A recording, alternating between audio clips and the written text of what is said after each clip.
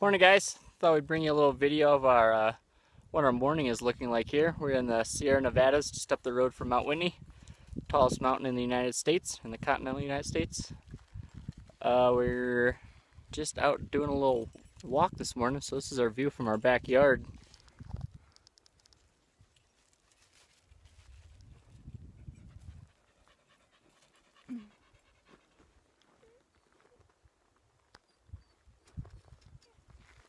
Campsite is down the road just a little ways.